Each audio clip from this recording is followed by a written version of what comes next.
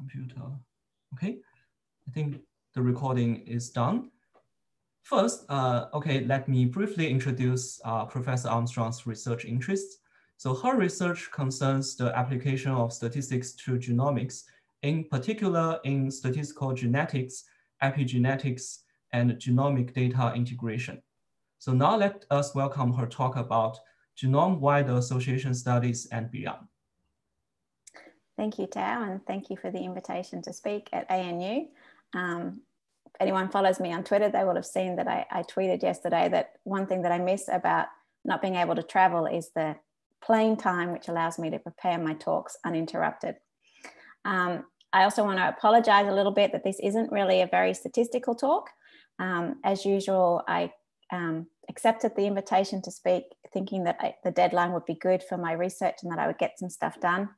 But um, for those of you that are, uh, might be in the know, um, this has been a fun year at Murdoch and um, it's not been a great week um, announcement wise. So um, today I wanted to talk about genome-wide associations and beyond. And um, it's a story that actually starts with one of the first GWAS that I ever performed almost 10 years ago now. Um, and we just got it published this year. It was a long, involved story, um, which I'll give you a little bit of background about. Um, and we're still interested in going on because, yes, we've got genome wide significant hits. Yay. We got it published in a, in a good journal, but we still don't know what the underlying genetics is, what the underlying story is. And so we're looking now at what other data we have available and also how we can use the data that we do have to try and tease out what is actually going on to cause the phenotypes that we're interested in. Oh, uh, okay. I think I just have to click. I'll go down here. Okay. So um, I know that I'm speaking to a statistical audience. So I started off um, basic with um, DNA markers that we might be interested in. And DNA markers are just, you know, we typically we view the genome as being a long line, um, which is wrong, but it's easy to visualize it as a big long line. And a DNA marker is literally just a landmark along that line. And we, um, it can be a polymorphism at a known location, could be a microsatellite marker, which is what I started out dealing with when I first started in genetics many years ago, which are simple tandem repeats of two, three, or four nucleotides. Um, in the genome. Oh, go back. Um, and then we got went up and we went um, in more detail and we were able to get single nucleotide polymorphism, which is just single, single base substitution. So here I've got an example. This person one is a C and a G in their genome at this particular location, whereas another person is a T and an A. So this is a SNP, um, which allows us to to potentially differentiate between people, but also allows us, obviously, when looking to find out um, what the differences are between people who have a particular um, phenotype or physical characteristic or disease and those that don't have that particular physical um, characteristic or, disease. Um, and obviously, we want to look to see if there are differences between those that do and those that don't. And if we have um, cases versus controls, disease versus healthy, then obviously we then can end up doing pretty much a chi-squared test at every single one of our locations in the genome markers. And um, back in the olden days, before we went um, genome wide, that we would only maybe have 100, 200, 300 markers. And now, of course, we've got um, the whole genome sequenced. So we've got millions of markers. If we have a phenotype that is not um, case control, zero, one, um, we have a quantitative phenotype, um, and then we're looking to find um, we're looking to find fitting a linear model basically in um, where yi is my phenotype of person i, and um, xij will be their SNP uh, genotype for person i at location j, um, and obviously there will be j of uh, up to j of these models, which you know is um, hundreds of thousands to millions of these models. Um, and we're looking to find if there's a, an association between someone's genotype at a particular locus and, and their phenotype characteristic. We might include covariates such as age and sex, um, but we're still only looking um, at searching through this space SNP by SNP um, most of the time. And we're also only treating a SNP as being um, having two alleles. And we're looking at treating the, the SNP as being, um, we're looking at counting the number of copies of one of those alleles. So we would code this X variable as being zero, one, or two, depending on some, whether someone had zero of whatever we're determining the reference allele to be, one copy of the reference allele or two copies of the reference allele.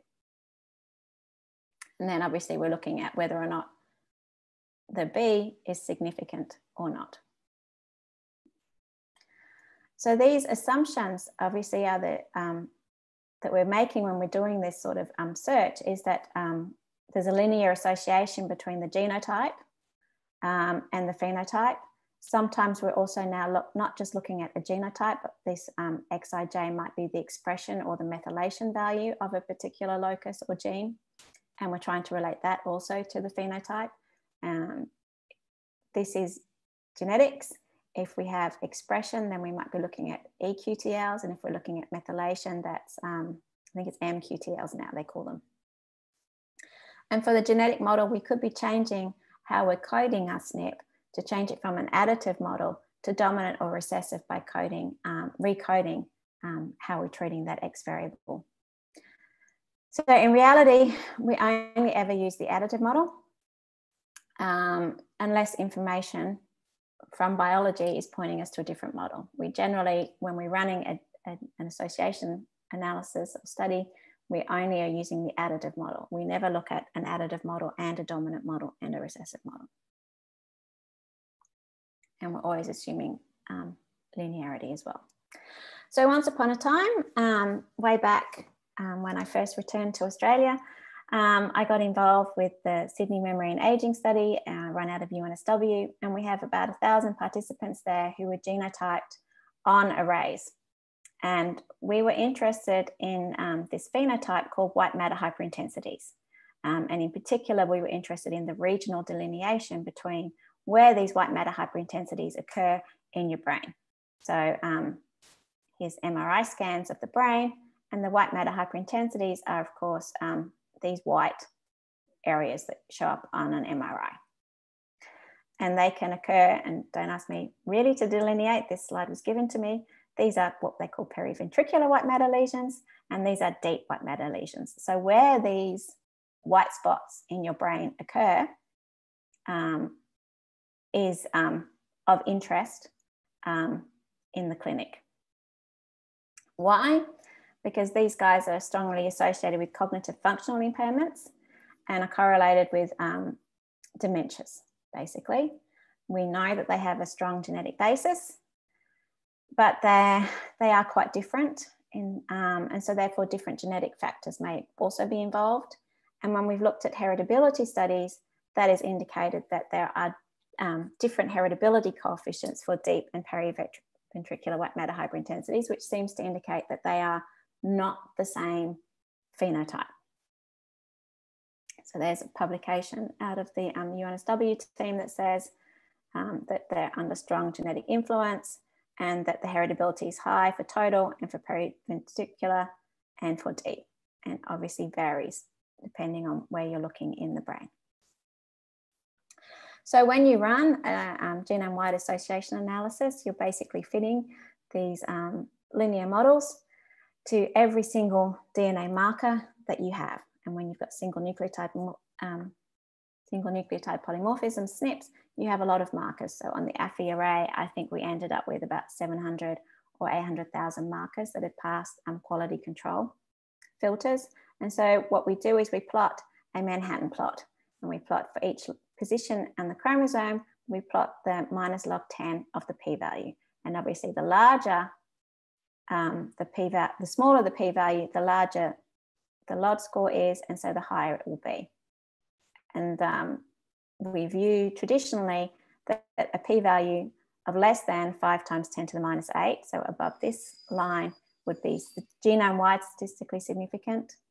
And if it's above 10 to the minus 5, then it is suggestive significant. Interestingly enough, those um, thresholds have not changed, even though the number of SNPs that we're looking at has increased a lot. So um, in 2012, um, you know, we didn't find anything just looking at mass because 1,000 people is um, not um, not a large sample size nowadays in genetics or genomics. So we then looked in 2012, we had the Australian, older Australian twin study, and we got them genotyped as well. But, um, you know, this is the real world. So obviously the Affymetrix chips were on the way out and Illumina was the way to go. So we used um, genotyping arrays from Illumina, um, which meant that we had different set of SNPs, a lot of overlap, but some difference. And we looked at using the OATS samples to replicate the mass genome-wide significant SNPs, and we didn't replicate anything. But how were we able, to use the Illumina genotyping SNPs to replicate the mass ones when they're on different arrays, we looked at uh, imputing the data. And so this um, lovely um, diagram I got from one of the imputation um, software package websites, um, we have cases and controls or our, our individuals are typed on some genotyping chip. Um, and obviously there will be missing genotypes and there will be some markers that are on the Affy chip that are not on the Illumina chip and vice versa. So what we do is we um, have a reference haplotype um, coming from the Thousand Genomes Project or HapMap or UK Biobank now. Um, there's the Haplotype Reference Consortium and there's also um, TopMed can be used now as an imputation panel. Um, and you basically are trying to infer um, on the basis of this reference panel what the missing genotypes should be in your population. Um, and of course, there are many different ways you can do that, and there are many different programs that you can um, use to do that, and Impute2 is one of them. So, what that means though is that I might have only had three quarters of a million SNPs on my actual um, genotyping chip. But when I impute up to 1,000 um, genomes or HapMap or the Haplotype Reference Consortium, etc. now, I might end up with 20 million SNPs. So we're, we're going up another couple of magnitudes in terms of the data that we have. And of course, each of those um, SNPs has a quality measure, as in how accurately the program thinks it has been um, imputed. And now, instead of having a zero, one, or two, we have what we call a dosage score, which will um, be continuous between zero and two, but obviously with um, density mass at zero, one, and two representing the um, the two, the three possible um, additive genotypes. Making sense? I hope so. Um, so we got somewhere, we didn't get somewhere with just looking at mass, and we were unable to replicate anything in oats, and also obviously we looked the other way around as well. So what can we do? We can combine um, our two data sets together. So we do a, a meta-analysis. So we're trying to increase our sample size and therefore increase our power. Um, there's two approaches that are common in um, GWAS literature, combining p-values using Fisher's approach um, and combining the effects. So this is a fixed effects model with um, inverse variance weighting. And this is happily enough the, the one that is most often used. And that's the one obviously that we used and again, there's a really nice software package that you can use to combine um, and to perform meta-analyses because of course you're doing it for every single SNP that the two data sets have in common. So it's again, large data analysis. So in 2013 and 14, we meta-analysed mass and oats together and we imputed um, both studies to the 1000 genomes reference panel. And we got some significant genome-wide significance hits and we were like, yay. So the next thing to do is um, to replicate. You can't publish anymore if you just have genome-wide significant um, hits in one study or one meta-analysis. You have to replicate in an independent um, study. So we asked um, some people in France um, that have a study called 3C Dijon to replicate for us and fell down again and we weren't able to replicate. So that meant we had to aim even bigger than what we had done. And so in 2015 16, we um, formed an international um, collaboration I, um, with Karen Mather at UNSW and Paul Nyquist, um, who's a neurologist at Johns Hopkins.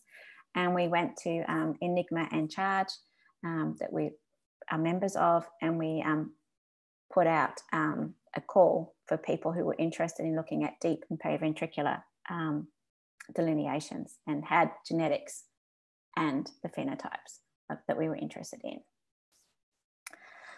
So it's um, unfortunate that um, no matter what people say about open data, access, etc., genetics doesn't fit into that um, that little um, open access field. Um, we pretty much it's hard to get um, people to share the raw genetic data, so we have to do a meta-analysis. So um, we have to recruit cohorts with both uh, the phenotypes that we're interested in and genetic data on those individuals. And we need to draw up an analysis plan that the contributing cohorts are able to follow. And that means that we all have to just determine what the precise phenotype that we're interested in is and what covariates that they have available that we think so that everyone's doing their analysis on their cohort exactly the same. And we also have to be aware of the fact that each of these contributing cohorts might not necessarily have an analyst, as we are called, to run the analysis for us. So um, it has to be using standard software that they can um, do quite simply and easily. And sometimes we have to wait a few months to get the um, results sent back to us. So we get a summary of their results. So this is our analysis plan, probably not very interesting for statisticians.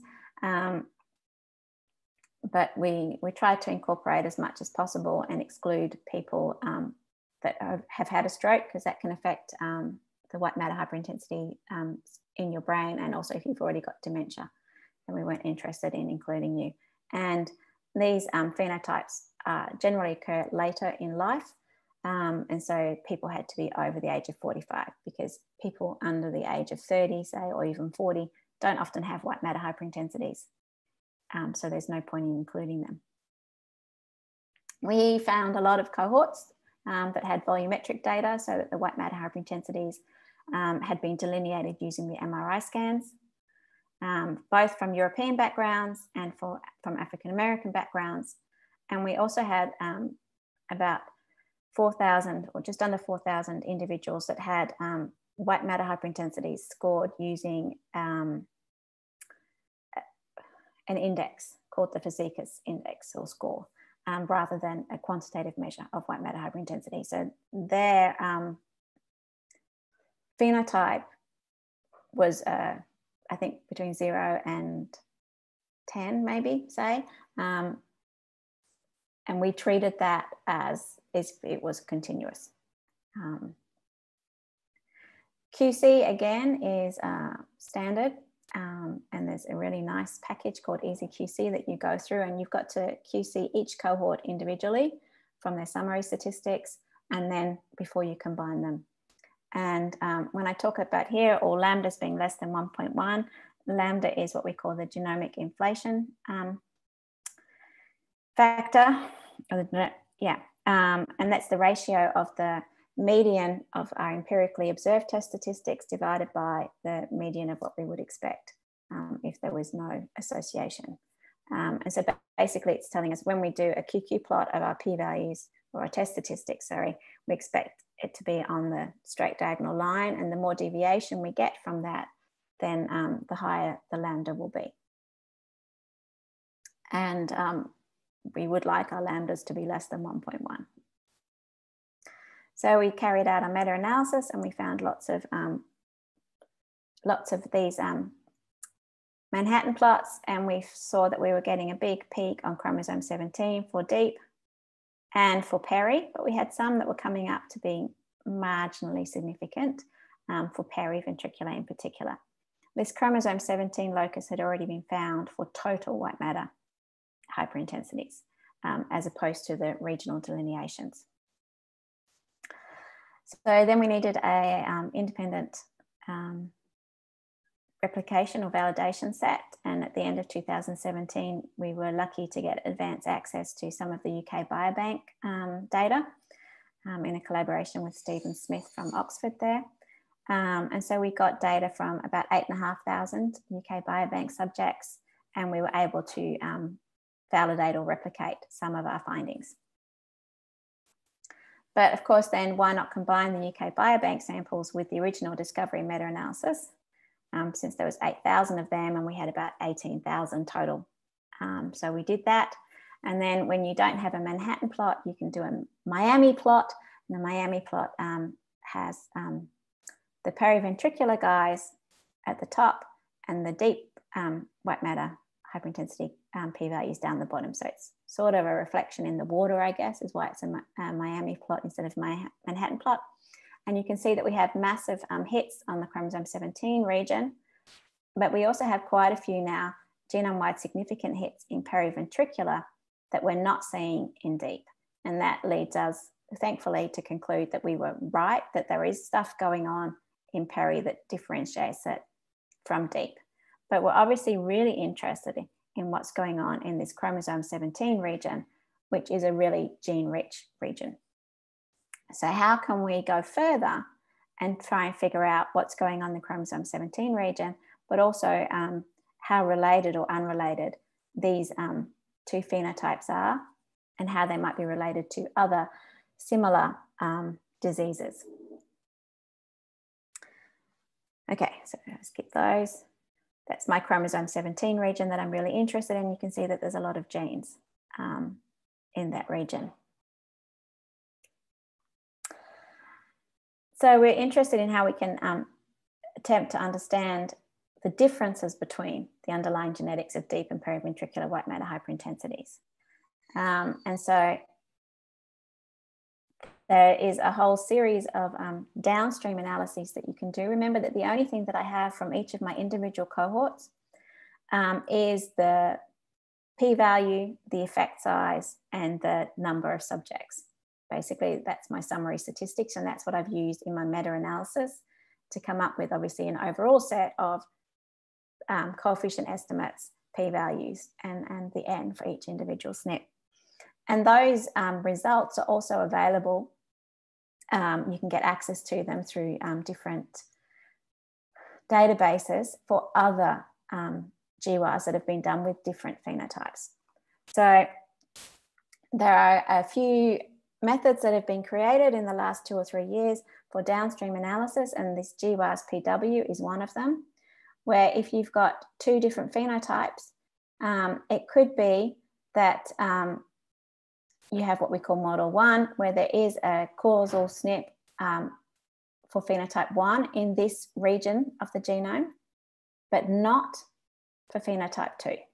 So it could be the reverse, um, or it could be that there is um, a causal SNP for both phenotypes in that region, and it's the same SNP, or it's a different SNP.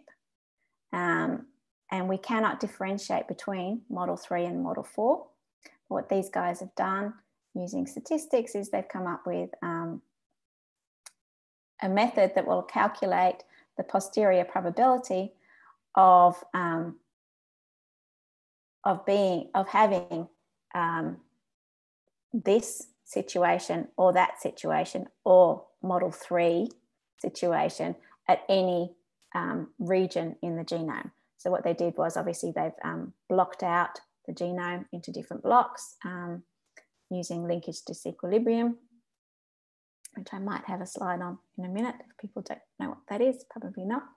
Um, and you can end up, you, you, get these scores that you can then look and see whether or not um, there are regions where um, the two phenotypes might be related or overlap, because that's what we're looking at. And so for for deep and peri white matter hyperintensities, we can look and see whether or not there's overlap between um, different regions and whether or not someone's had a stroke, what type of stroke they've had. So this is all stroke, ischemic stroke, and um, small vessel disease. Um, and maybe there's overlap between the two um, phenotypes. And this would also, if if I was only going to get, um, so PPA is the posterior probability for model three, and we should be looking at this apparently being bigger than 0.9. So we have this. Um, we're looking at um, trying to see if there's more differences between deep and periventricular.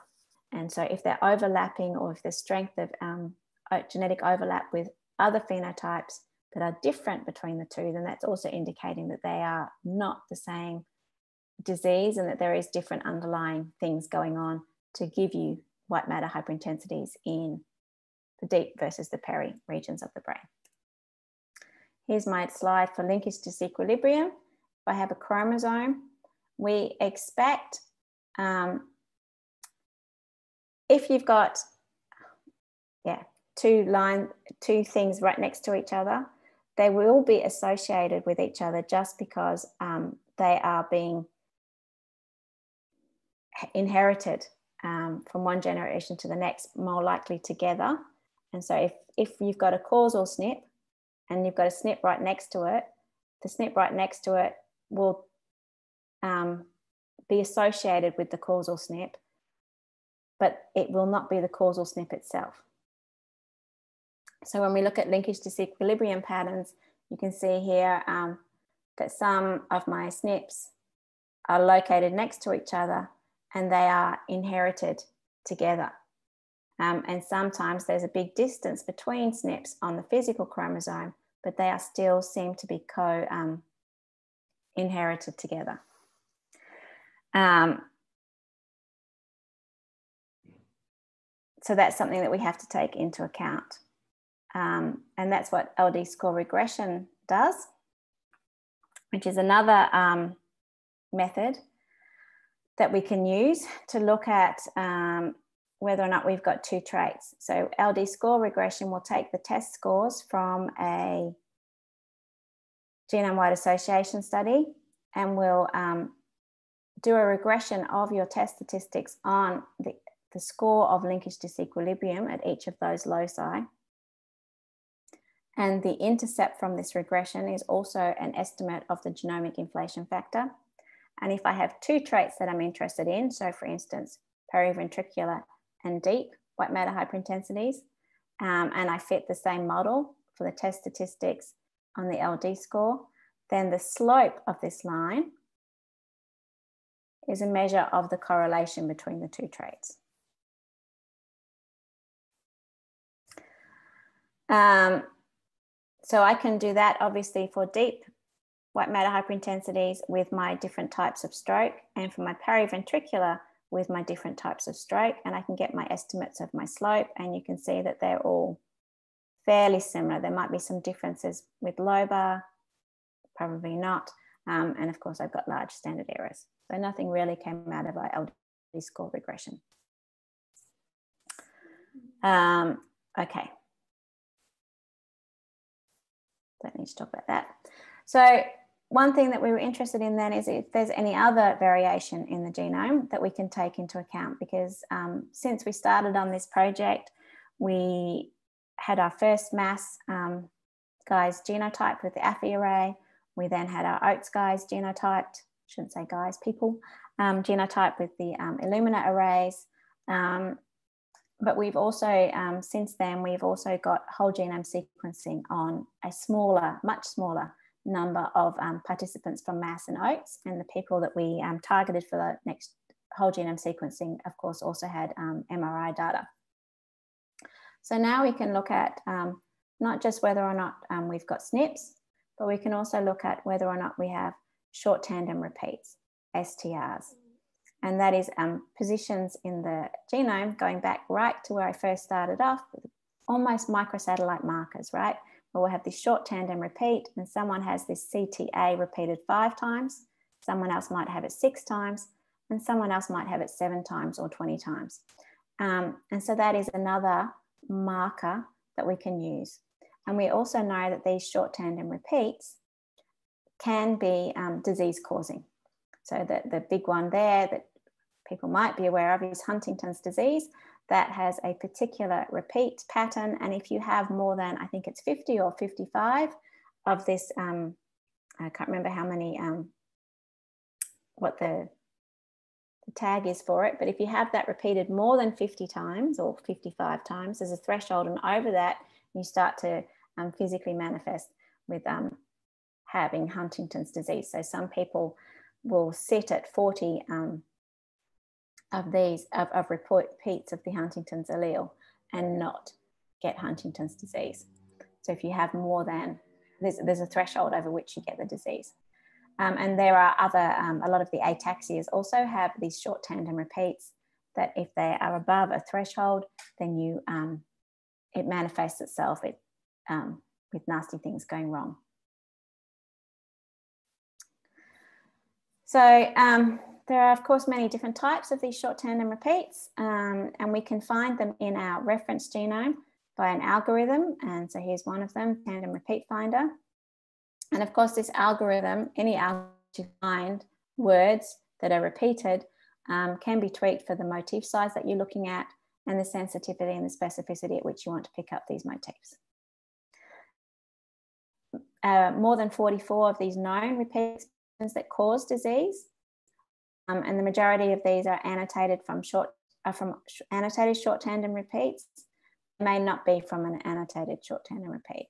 So, and there are of course de novo repeat expansions where this short tandem repeat is not annotated and it's not been identified as an expansion anywhere so far. So, um, how do we find these short tandem repeats? So here's some of the detection um, algorithms that we have looked at. Um, GangSTR, Expansion Hunter, Expansion Hunter De Novo, exSTRa, Tread Pass, and STRetch.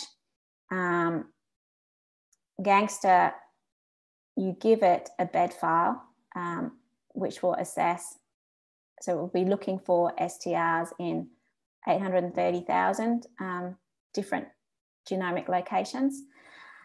Um, and it takes a while to run um, Expansion Hunter um, and exSTRa are only looking at known sets of um, annotated STRs. Expansion Hunter De Novo is looking for De Novo, so unidentified um, repeat expansions. Um, and there, the repeat has to be more than the length of um, the read. So Illumina sequencing is 150 base pairs or letters. And so Expansion Hunter De Novo will find um, expansions or short tandem repeats that are more than 150 base pairs in length. And when I was writing up this talk, I was sitting there thinking, oh, there's an awful lot that we have to do still to determine how confident we are in that our STRs have been called and that our num allele numbers or repeat numbers for each um, STR is correct.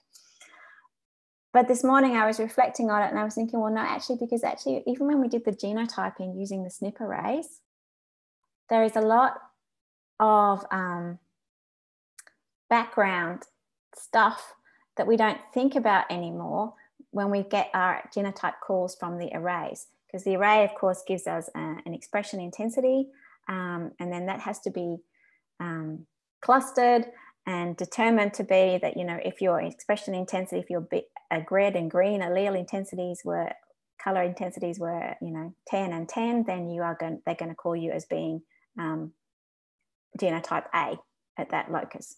And if it's 10 for one and 15 for the other then maybe you'll be b and and so on. But we don't think about that anymore um, because i guess the technology and the methods are all bedded down and fairly stable now STRs, we're not bedded down and we're not stable yet, but we do have to think about um, how trustworthy our data is. Because what we get out of many of these algorithms is we get um, a combination of the reference and alternative alleles. So GangSTR, which is one I want to talk about, gives me that I've got eight repeats of the reference allele and three repeats of the alternative allele. And that's what I get out for each of these um, STR loci, and I've got 832,000 of them.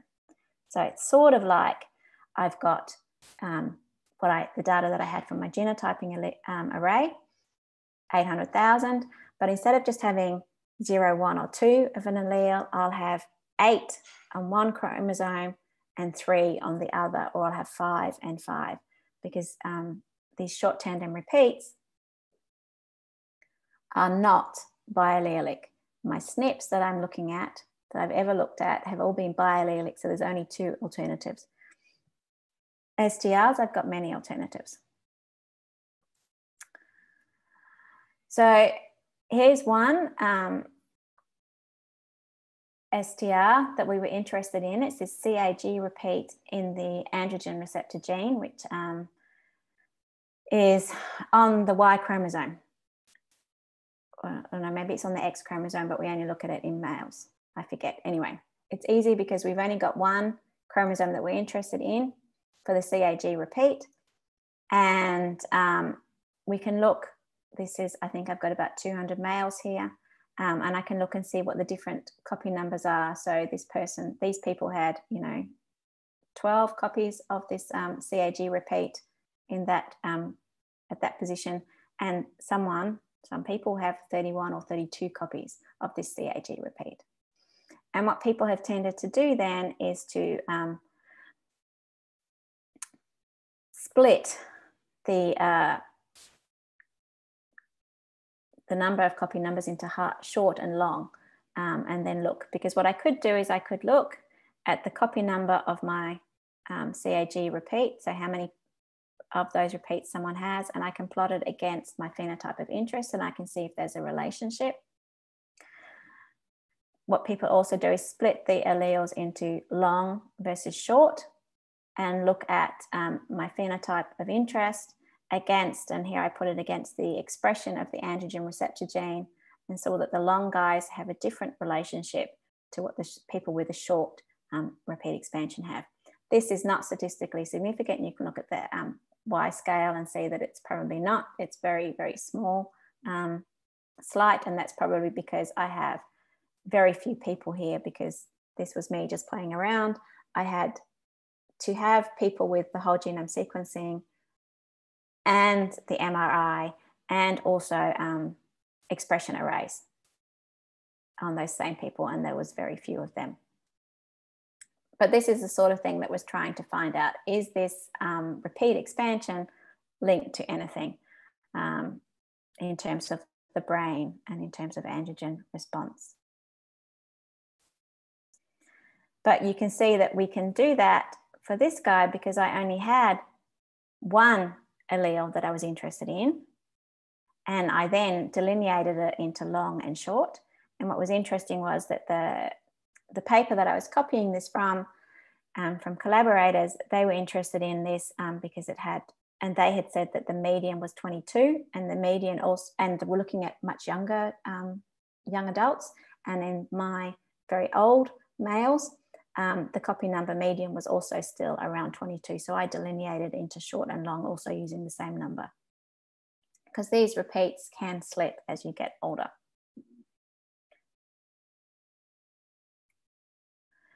So um, I then, we then took um, our data. We have about 500 whole genome sequencing, uh, individuals whole genome sequenced, and we ran um, GangSTR on them. And um, we're really interested in our chromosome 17 region, obviously. And so I started to plot um, what we're getting for our copy numbers for the first allele and the second allele. And we get some where, you know, there's a group that have one copy of this uh, repeat expansion at this locus, and some people have six copies on both chromosomes. But most people have five and the reference allele I think was five for this one. And there is some variation. These are obviously also different STRs in um, the chromosome 17 region. And so where I didn't get up to what I wanted to get up to um, is of course what I'm going to do with this data. Um, and that is still a work in progress. Um, but we can see that there, so in the chromosome 17 region that I was interested in, um, there were 210 um, short tandem repeats found um, or in the GangSTR database that I then got copy numbers for for my 500 samples. And most of them show very little variation. So everyone is pretty much like this, and there's nothing above or below. Um, or there's maybe just one person with, you know, instead of five, five, they've got five, six. And so I just, I have just removed them but of course, you don't know if that might be important or not, because of course, I don't know what I'm looking for.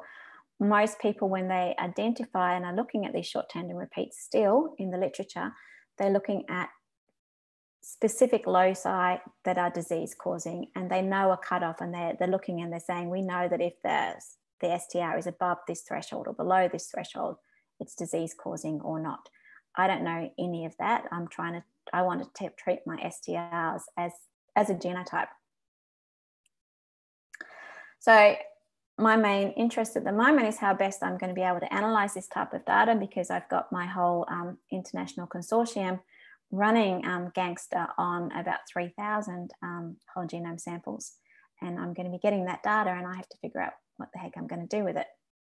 So a traditional, a single STR may have any number of alleles, whereas traditionally we focus just on having these um, biallelic loci. So now I've got, I don't know how many alleles I'm going to have at each of my 800,000 loci. So what we could do and what is done actually, because STRs are also used in forensics um, to identify whether or not, you know, that person really is the, the um, perpetrator or not. They'll look at um, STRs um, at several regions that are known and they'll be using um, electrophoresis gels to determine the genotypes of um, the number of alleles or repeats that each of the DNA samples have in, in trying to figure out what they're doing, who it is. So they're comparing the frequencies of the different alleles at each locus. And we can do that between groups if we've got cases and controls. The healthy, per, the healthy people versus the person that has um, something wrong with them and try and figure out if they've got similar or different numbers of um, repeats at each of those things. But what happens if we have a quantitative um, phenotype? So when we're comparing the frequencies of the different alleles at each locus, then we've got uh, up to 20 tests per locus um, of cases versus controls. But when we've got a quantitative phenotype, we can't group. We're going to have, um, yeah, it, it might be different. Um, focus on STRs in a known gene or region is what else I found in the literature, but that's not hypothesis free because they already know that, that gene, they've already decided that that gene is linked um, to the disease. It's like me looking at the chromosome 17 region, that's already massively reduced the number of STRs that I want to look at, but that's not hypothesis free and it's certainly not genome wide. Um, and people then will look at the disease causing STRs have this known threshold above which we um, say that the disease is present. We don't have a known threshold, so I can't delineate into um, short versus long STRs um, because I don't know. And, and, you can see that for some of my data, um, the I've got a large variation in my number of copy numbers, um, and in some I don't have that much variation. And one thing that I don't know is um, is this variation between one and six statistically significant or an artifact of the sequencing technology? Uh, that's something else that I need to look into um, as well. Yeah. So there was one article that I found that was published at the end of last year. Um, and what they did was they took the um, average repeat length of the two alleles for each individual. So if someone has two copies of a repeat and 10 copies of a repeat, then that average repeat length will be six. So that person would have the same value as someone who was six and six. And I would hope that they would be different. So when you read on, what they then, said was that the repeat length is defined as the difference between what was observed and the, they used the hg19 reference um, repeat length, which was say five.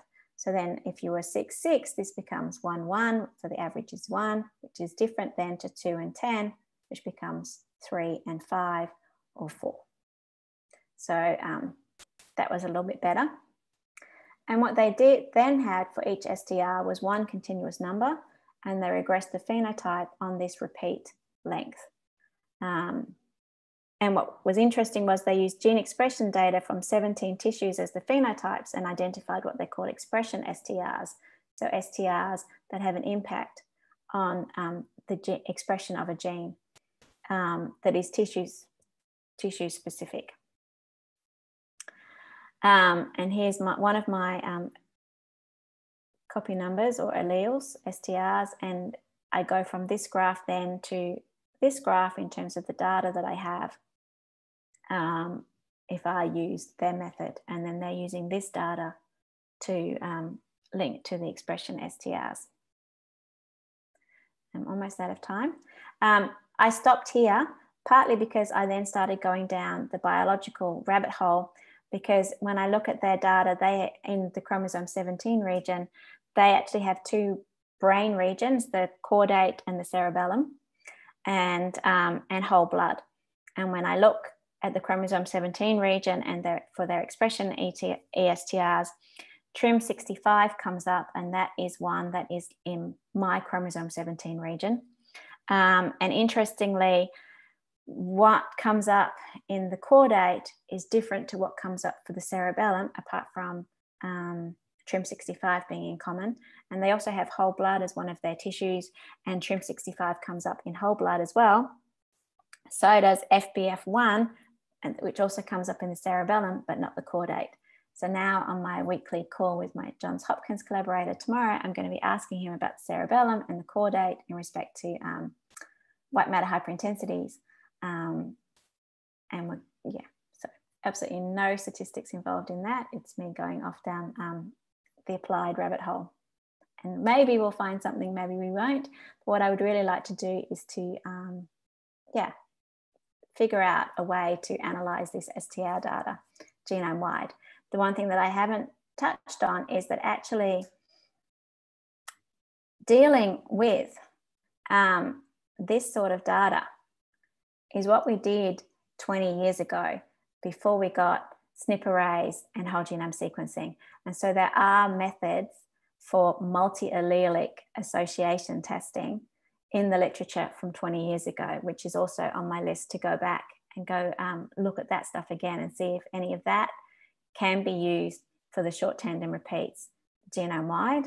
Um, and probably um, if there is code out there, it will be probably very slow to scale up to the um, quantities of data that we have um, now. So that's the end of my ramblings. And I just want to thank Paul and Karen and Morelli and Stephanie um, from the University of Bordeaux. And of course, all the cohort researchers and participants that uh, have willingly and unknowingly given us their data. Thank you. So let us thank uh, Professor Armstrong for her very interesting talk. So any questions or comments? Um, I have a lot, if that's okay. yeah, please. Thanks a lot for a great talk, Nicola. I'm very happy to see more talks on uh, like the GWAS. Um, it is also my research interest as well. Um, so one of the things I was wondering, um, and maybe you have done this, um, is that um, a lot of times in GWAS, um, there might be some population structure in place. And so sometimes people will try to control for this. So I'm wondering whether um, that was done or like if you were to do it, like what do you reckon like is a, a like approach to go? So all of our cohorts did their own individual QC. So they uh, and a lot of them are members of Enigma, and Enigma has great uh, genetic protocols. Um, so the um, Eigenstrat has already been run, and any genetic outliers in terms of ethnicity have been removed from the data. So that means that when I talk about my um, Caucasians, then I'm talking about ones that are um, linked together or, or, sit closely together in those PCA MDS plots. Um, when we looked at um, we have a small number of Hispanics and a small number of African Americans also from the American studies in the in the um, meta-analysis. When I look at them separately, I don't have enough power.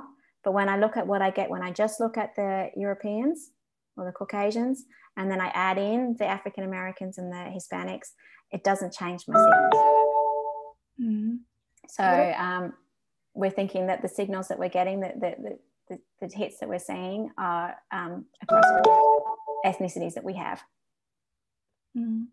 What about like um certain things like um because you may also have families um within yeah so we have the older Australian twin study. Okay, yep. and so, so that analysis is um, so each cohort does their own analysis. We're assuming that there's no genetic overlap between the cohorts, and that's probably pretty fair to say, um, to be honest um, or that the amount of genetic um, kinship between individuals from different uh, different cohorts will be very low. But yeah, so we, as always, you know, I've got one um, cohort of unrelateds and one cohort of highly relateds, and I have to use different analysis methods to get my summary statistics on them. Mm. Yeah. Um, so and summary statistics that are generated for each cohort takes into account the kinship that's present in each cohort. Okay. Yeah. Um, and if I, other people have questions, please interrupt me because I'm going to keep on going. Um, so the other thing I was wondering um, was that um, so uh, when you introduced the the GWAS, um, the model was such that you test one marker at a time. Mm-hmm. Um, there's also another approach that, um, in particular, I guess this comes from, and the where area that I'm interested. Uh, I worked on with GWAS was really was plants, mm-hmm. Um, and so it's different to human for sure. Um, and then so they tend to use what's called the whole genome approach. Um, and they consider not just having the mark at a time, but you sort of include like um, uh, the relation between the um, the the whole uh, the individuals that you have um, by essentially fitting these um, relation as a random effects. And so I don't know if um, you know um, because um, the Queensland Brains Institute, like Jian Yang, um, yep. Wray, Peter Visscher, they've got the GCTA, and they kind of yep. took that from the animal and plant breeding, mm-hmm. and then put it in the human side of things. Mm-hmm. So you mean like um, so? Which one from the GCTA? Which um, method? Well, so I assume I don't know about the methodology so much. Just like I don't know, I don't use their things. so we did try their conditional and joint analysis, COJO, mm-hmm. and um, I was quite disappointed in that. Um, all that did um, was raise up my p values in my in terms of LOD um, slightly, but didn't push anything over. Okay, so so from your view, so I'm very interested because I guess from the plant side of things, we kind of take the whole genome approach as sort of a standard. Um, so whether in human studies, people I, I do see this more often that it is more about thinking markers testing one at a time. Yeah. And so it just you reckon like it doesn't really make much of a difference whether you go either. Um, it didn't in my case. Um, if if what you're talking about is is um, is um, COJO. But I think when you're saying that they take into account the whole of genome, is, is that like just basically saying you've got basically you you're looking at a kinship matrix? Yeah, and you put and that including that. Yeah, so yeah, no, so that um, that is basically what I've done when I've done the older Australian twins study, um, because I have analysed them taking into account their relatedness. Okay, okay. Yeah, so that has been done for those cohorts where we know that the people are related. Because, of course, unlike plants, where you, and especially plant studies, you know that, you know, they're all related. You're not going to take 50,000 plants from 50,000 different locations. So all of your plants is are controlled, right? So you know the, the you know the family structure, if you like, of plants, because plants are bred and animals are bred um, in controlled populations, right? Either inbred or outbred in an experimental study, you know this the family structure of your animals or your plants. Humans, we don't, but we can estimate based on how similar someone's genome is to someone else's genome. We can uh, estimate um, their identity by descent or their identity by state and estimate how related they are. And we can use that um, in our analysis. And what I do when I analyze the older Australian twin study is I'm taking into account the fact that this person and this person are monozygotic twins or dizygotic twins or are siblings. Mm. So, but in my in my mass guys, I've already checked, and my identity by um, state um, statistics for my mass shows that they're all unrelated. So I'm analyzing them as independent people. Okay, so you take two approaches. So I just got confused a bit because uh, when you showed the model in the beginning, yeah. um, I just had the impression it's just one at a time, and the markers. The SNP is one at a time. Yeah. And um, that's the basic uh, one where I, guess my uh, individuals are unrelated. Where my individuals are related, then that model is more complicated because I am taking into account the fact of the relatedness. Yeah. Okay. But my meta analysis is also assuming that all my individual cohorts are independent. Mm. Um, the other thing I wanted to ask about was like, so there was some the visualization that you showed. Um, so I was wondering, like, you know, um, uh, I mean, you. So that was the one that was, um, uh, what was it? If you go back in your slide, it had the the two two um, yeah, the long and short. That one? Uh, no. no. Um, so there was a ah. graph where you did a comparison. Yeah. yeah. So with this one, I actually felt, um, I mean, you said that they are not statistically significant, um, no. but uh, part of it is, uh, I thought was this, it's, it's, it's a bit hard to compare like this, um, in yeah. a sense that the scales are different between the two graphs as well.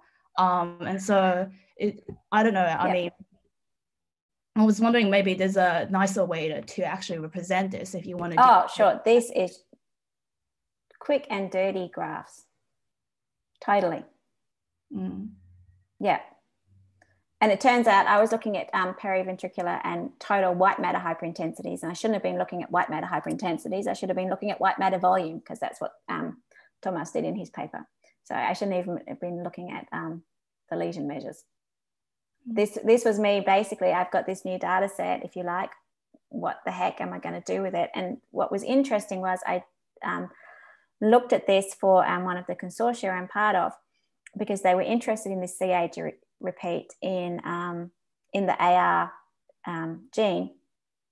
And um, it actually, GangSTR comes with a set of um, repeats.